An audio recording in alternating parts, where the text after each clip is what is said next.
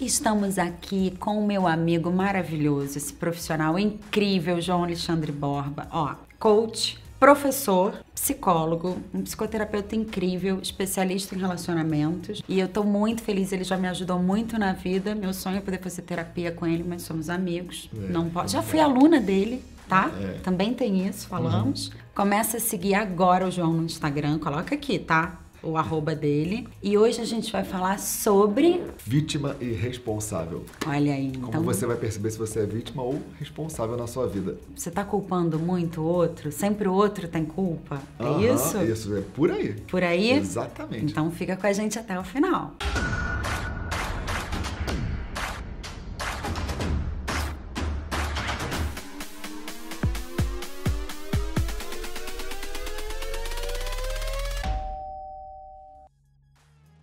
E aí, conta pra gente, qual a diferença? Primeiro que a vítima a gente pode pensar assim que ela tem três características. E normalmente ela tem as três. Toda vítima tem isso. Por exemplo, a primeira dela é a vítima tá sempre reclamando. Vítima é aquela pessoa resmungona que fica olhando sempre pro que falta. Em vez da vítima olhar pro que tem de positivo na vida dela, ela olha pros vãos, pro que que tá faltando.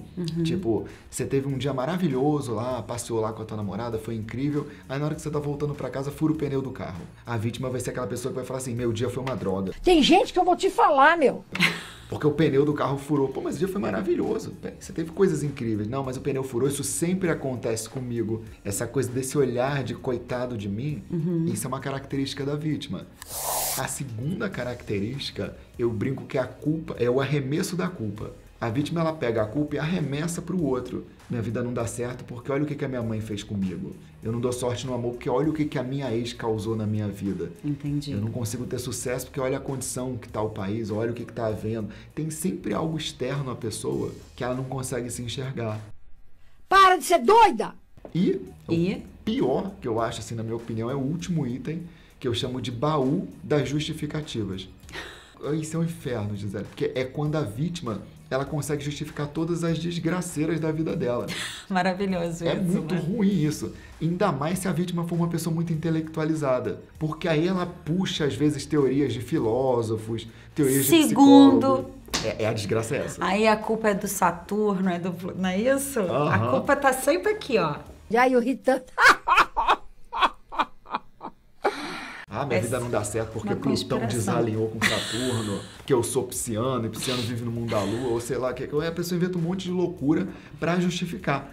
E se ela for muito inteligente, a pessoa, ela começa a te provar aquilo. Aí enlouquece o outro. Sabemos, já passamos. Mas o mais doido, assim, da, da questão da vítima, que eu vejo é que, assim, a vítima, ela costuma se vangloriar dessas dores. Então é como se ela usasse um escudo. E toda vez que a vida vem e dá um golpe nela, é como se ela falasse assim, tá vendo o que que eu sofro? Mas eu continuo em pé. Tem muitas vítimas que se vangloriam dessa guerra que Da acontece dor. da dor.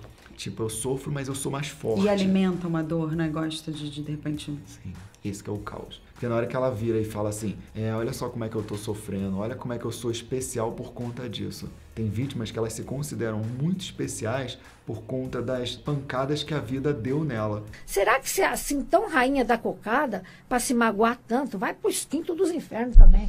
Então ela não consegue se desenvolver como alguém responsável, que é o eixo oposto, que seria a cura da vítima. Lembra que a vítima só reclama? O responsável ele faz o oposto.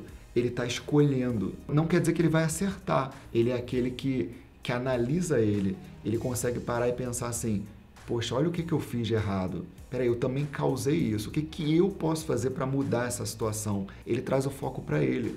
A vítima ela sofre muito. Porque a vítima, ela vive no mesmo lugar. E você quer ver uma coisa? Quando a gente para para pensar assim, qual que é o oposto de morte? A maioria das pessoas responde que é vida. é? Mas o oposto de morte não é vida. O oposto de morte é nascimento.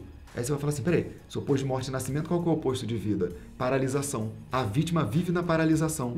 Ela não muda. Ela fica justificando os erros dela sempre intelectualmente. Então você encontra alguém que, sei lá, um amigo seu que você não vê há 10 anos, e essa pessoa está na mesma situação, ela está na posição de vítima naquela área da vida dela. Sim. Por isso que para sair é das mesmas questões e ali. Por isso que é desesperador.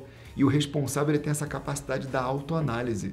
E a autoanálise que traz força. Porque é quando a gente começa a olhar para dentro e falar assim: caramba, a vida é minha, a vida passa, a vida é finita. Então eu tenho que conseguir olhar para o que está acontecendo comigo e fazer a diferença. Senão eu vou ficar repetindo o mesmo circuito. Primeira coisa é: a pessoa precisa sair aos poucos para uma posição de se responsabilizar pela vida dela. Porque a vítima está num sofrimento muito Mas ela grande. às vezes não vê que tá nessa posição de vítima, né? Ela não vê. A maioria das vítimas, elas não estão vendo aquilo. Por quê? Porque elas estão tendo um ganho. Qual o ganho que às vezes elas estão tendo? Às vezes elas estão num, num emprego que é horrível, mas elas pensam assim, é melhor ficar aqui do que sair para o mercado de trabalho e me lascar. Sim. Então ela fica reclamando daquilo, mas ela às vezes perde oportunidade de mandar um currículo, às vezes de conversar com alguém que tem uma rede que possa estar empregando ela em outro lugar. Às vezes a vítima está numa situação, um relacionamento que está ruim, aí ela perde a oportunidade às vezes de se abrir para conhecer alguém diferente, mas tipo, ah, mas melhor ficar com essa pessoa aqui que não tá legal do que, sei lá, me abrir para o novo. Então ela tá sempre justificando aquela confusão que tá na vida dela. Por isso que é difícil até para quem é amigo de alguém que tá na posição de vítima ajudar, porque normalmente os amigos perdem a paciência. Sabe aquela sua prima que liga só pra falar desgraça?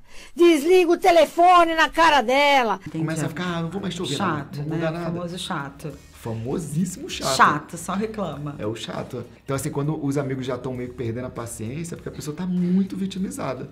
Ninguém tem paciência comigo. Então ela precisa de ajuda. Aí é que é a hora que a gente mais tem que ajudar o outro. E não virar e parar de estender a mão. Sim. E normalmente a pessoa é abandonada. O que também é muito triste, né, quando acontece. Tenho vontade de rir, mas assim, acabou. É isso. Então, se você é vítima, você vai ser abandonado. É, você tá lascado. Se você está se sentindo abandonado, pode ser que você seja uma vítima, então... Tá muito sozinho? Seus amigos não têm tempo pra você? É isso, né? É meio isso. É, é meio não, é bem isso mesmo. Os amigos vão largando mesmo, porque vão perdendo a paciência. Eu já tô por aqui de vítima. Mas você acho que só se torna responsável, João, através de processo terapêutico, coach. de Algo tem que acontecer na sua vida, né? Uma vontade de se autoconhecer para você começar a olhar para esses pontos, porque todos nós em algum momento seremos ou nos sentiremos vítima. O problema é você estar sempre nessa posição. Você quer ver como é que você acha a área da vida onde você está sendo vítima? Dá uma olhada assim na sua vida como um todo, como um todo, e procura ver qual área que está igual há muito tempo. Nessa área tu tá na posição de vítima. Porque é uma área que ela não muda, ela não se transforma. E a vida precisa de movimento. Que é por isso que o oposto de morte é nascimento. Quando a gente renasce, a gente pula pro novo. Vai com Deus, meu chapa. Próximo. É onde tem a dor. Perfeito, é isso aí. É onde tá doendo, a pessoa sabe que dói, ela não para de reclamar, mas tá presa ali. É, é aí que a pessoa tá como vítima. Ó, primeira coisa que a pessoa tem que entender para ela sair da posição de vítima é: se ela continuar repetindo as mesmas atitudes e ações, ela nunca vai mudar. Então ela vai ter que ir pro novo, que é o E ela? desespero da vítima. Então Né? ela vai ter que olhar para novas atitudes dentro dela, para pensar assim, como é que eu vou reverter essa situação se eu não mudar a minha ação, minha atitude? Então ela tem que começar a pensar mais sobre ela, se autoanalisar, que é o que o responsável faz. Fia, eu vou dizer uma coisa pra você. Se você não cuidar de você, ninguém vai cuidar. Então o que ela pode fazer, se ela tem amigos queridos, pessoas que dão colo para ela, ela pode chegar para um amigo e falar assim: "Posso ficar com você só reclamando?" Mas uma reclamação consciente. Vai, reclama aí. Bom isso, né? Já fiz isso com Cirne? Já.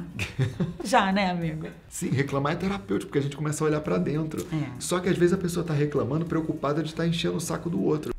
Deles. É pontuar, né? Falar assim, olha, eu vou reclamar, mas eu preciso disso aqui, mas eu já vou sair disso. É meio Sim, isso. É, é isso, totalmente. Porque aí no que você vai reclamando, você começa a se escutar. O problema é da reclamação que a pessoa não se escuta. Uhum. Sim, crônica já, né? É, aí ela, Ela não sai daquele.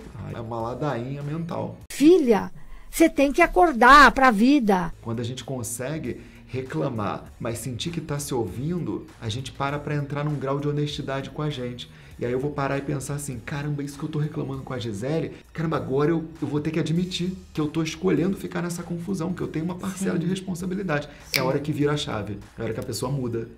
Gente, o Cirne trouxe aqui agora um meme pra gente, que ele vai- você vai colocar na tela. Era muito bom. Que, é que eu quero que o João agora diga o que se, se isso aqui é ser vítima, entendeu? Como é que resolve essa pessoa. Caraca, muito bom, muito bom. E aí? É com certeza, olha só, embaralha essa porra toda de novo, cara, como isso aqui é uma maior vítima. E a pessoa não quer ver mesmo, né? Ela não, Não. quer olhar, não é ela. Quer É dizer, o problema é o outro. Ela deve ter perguntado, sei lá, essa mulher deve ter perguntado, fulano me ama? Ele deve ter saído daqui, não, não ama. Ela, não, embaralha essa porra de novo, que eu tenho que dizer que ele me ama. E aí isso é tão doido que ela não tá parando, nesse exemplo aí que eu criei aqui, pode ser que ela, ela tivesse que parar pra pensar assim, peraí, eu tô, que, eu tô tão preocupada se o outro me ama, mas o que, que eu sinto? Quais são os Sim. sentimentos que eu tenho pelo outro? Eu gosto dessa pessoa, eu tô com ela porque eu gosto, senão fica uma coisa, embaralha aí ver se o outro me ama. A gente, é muito louco, cara, É. o ser humano é muito maluco. E é bem isso que é ser responsável. É deixar de, deixar de olhar pro outro e olhar pra você. Olhar pra gente, quais são as minhas necessidades. Viu? Pessoa responsável. é isso. Então você, como responsável, vai o quê? Vai comentar aqui, vai colocar, falar mal do ex, pode, Pode. é terapêutico. Fazer reclamação, pode fazer aqui embaixo. Não precisa falar mal do canal, né? A gente vai ser Isso aí, processado desse né? jeito. Não, não, fala, não precisa citar, inventa um outro nome, dá um É, codinome. aproveita pra reclamar nos Aproveita para reclamar nos comentários, deixar suas sugestões também. Não precisa reclamar da gente. Deixa sugestões É, amorosas, não, né? da gente não, dos outros. pode. Amorosas. Quem é responsável, escreve aqui, sou responsável. Se você se identifica como vítima, coloca, sou vítima mesmo, vou procurar um amigo, um terapeuta ou, ou sei lá, chocolate. Também pode Vou ajudar num criar um momento. hashtag sou vítima né? daquela. Muito obrigada por vocês terem ficado com a gente até o final. Agora eu tô cheia de responsabilidade.